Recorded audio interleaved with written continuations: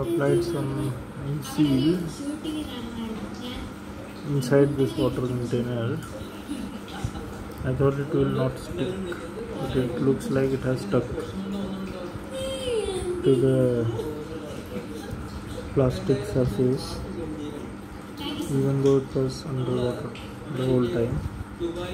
Looks like it is curing may take some 8 hours to cure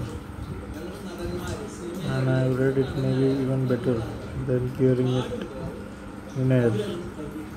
This is useful for repairing ponds where cement etc has broken off. So M-seal may cure under water.